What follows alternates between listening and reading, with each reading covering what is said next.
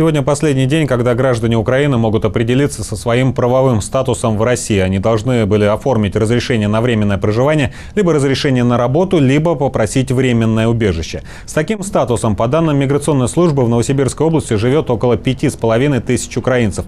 Большая часть из них уже получили разрешение на временное проживание, а около тысячи человек получили российское гражданство. И столько же людей до сих пор не определились со своим статусом.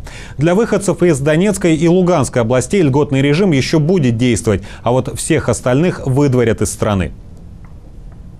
Если они этого не сделали, и срок э, их э, пребывания на территории Российской Федерации уже истек, то есть срок пребывания, э, постановки на миграционный учет закончился, то они должны покинуть территорию Российской Федерации и смогут заехать к нам вновь только через 90 суток.